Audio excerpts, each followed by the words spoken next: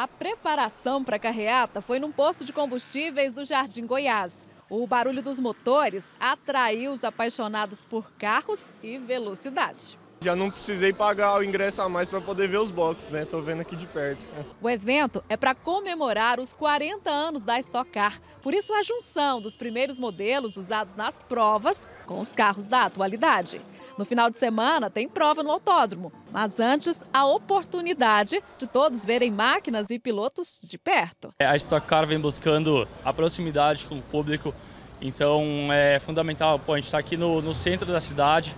É, num posto de gasolina comum, a gente vai andar pelas ruas da cidade como qualquer outro carro. Então as pessoas acham super bacana, a gente vai fazer um pouquinho de barulho nas ruas agora.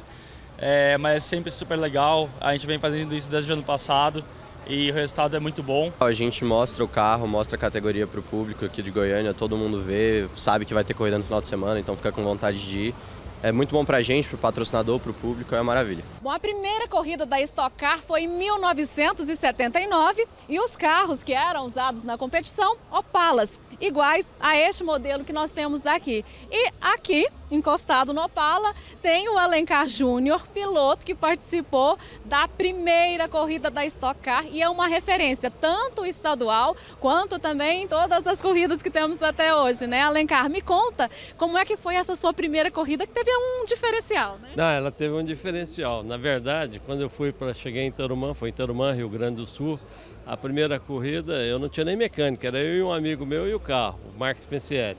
E ele falou assim, Alencar, será que você chega entre os seis primeiro? Eu falei, larga de ser bobo, eu chego entre os três até faltando uma roda. Diogo ama carros, a grande paixão, o Opala 75. Anos de trabalho para deixar ele assim, tinindo, brilhando.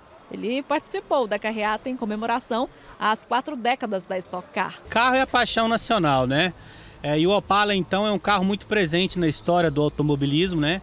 Existe é, é, muitos fãs para mim é muito bom participar e, e, e ser membro do clube e estar tá aqui participando da, desse evento maravilhoso. Depois, o comboio saiu em carreata pelas ruas do Jardim Goiás. Inevitável não chamar a atenção, né? A história da Stock Car tem 17 goianos com vários títulos. E para quem quiser conferir mais de pertinho, é só ir no autódromo no fim de semana. Eu quero aproveitar para convidar todo o pessoal para ir torcer pela essa equipe azul, pela Blau, é, no sábado e no domingo lá no Autódromo de Goiânia.